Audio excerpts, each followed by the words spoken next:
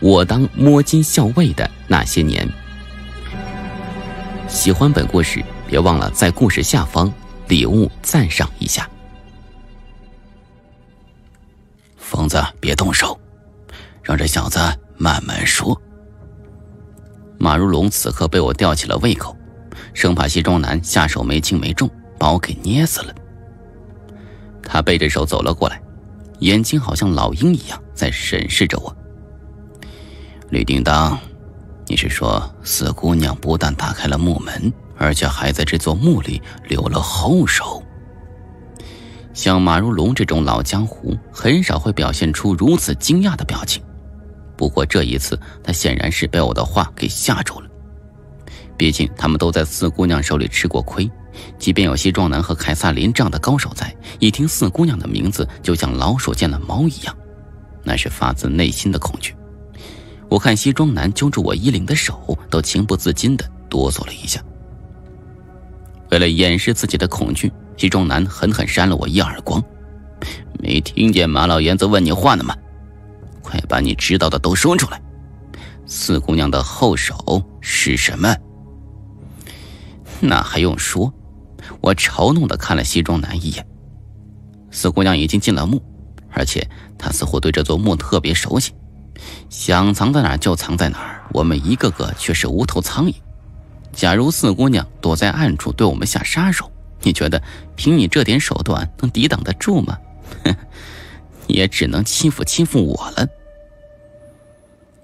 见我拐弯抹角的骂人，西装男抬手又要给我一个耳光，马如龙却狠狠地挥了一下手，让西装男退开。此时此刻，他的耐心似乎被我消耗殆尽了。雷叮当，你说四姑娘要杀死夏木的所有人，其中也包括你们？当然，我点了点头。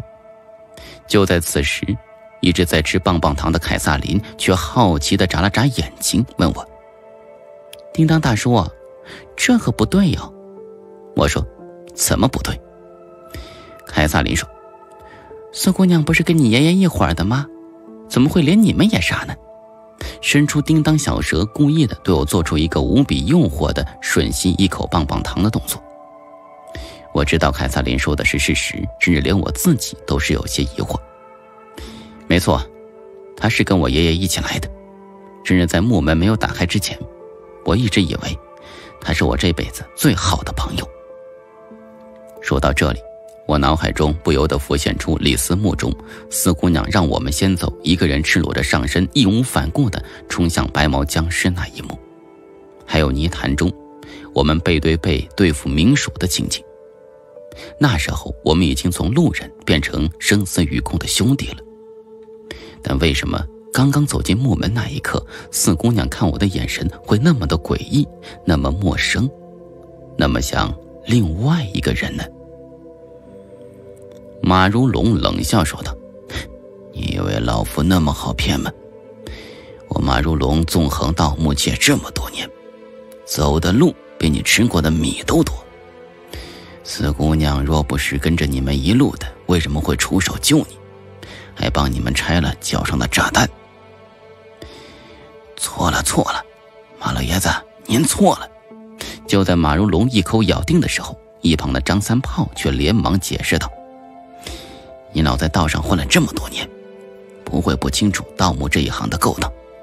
看咱们这一行的，向来都是无父无母，欺师灭祖，连亲儿子都有可能为了一件宝贝捅死亲爹，更何况是一个半路搭伙的朋友。所以说呀，咱们向来是以利益为上，人情靠后。张三炮不愧为摸金校尉。两三句话就道出了盗墓界的现状，而且是合情合理，听得马如龙都连连点头。马如龙问道：“那你的意思是，四姑娘其实一直都在利用你们了？”“没错。”张三炮说道，“四姑娘对这座墓实在是太熟悉了，干什么事都得瞒着我们。不止庙里那三只变异水猴子是受她控制的。”就连我们两次遇到白雾，也是他开的机关。如果一个路人的话，会千方百计想置我们于死地吗？而且，这时候我犹豫了一下。而且什么？快说！马如龙大声问我。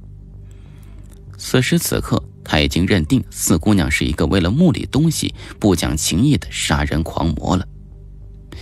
我声音有些失落。而且，胖子和王元朝在白屋里失踪了，怎么找都找不到。我怀疑是四姑娘下的手。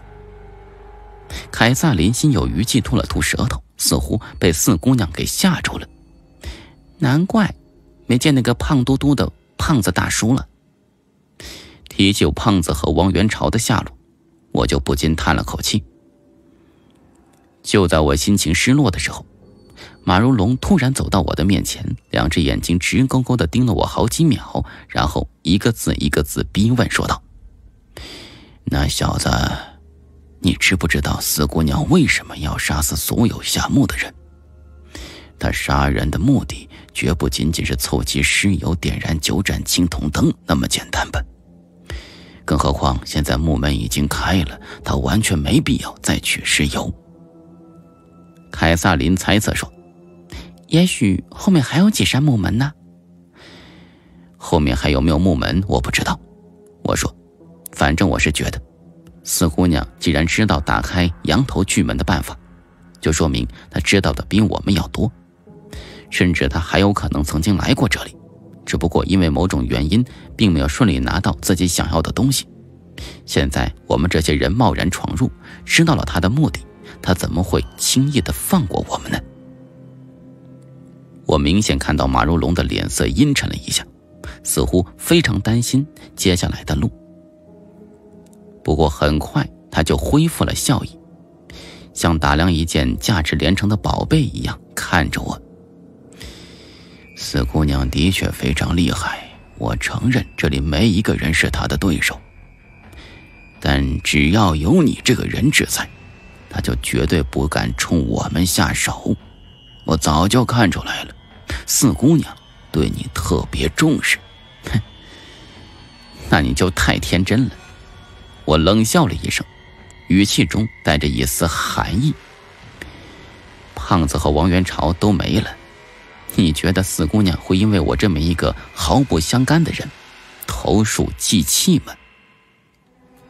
我当摸金校尉的那些年，有声的紫金。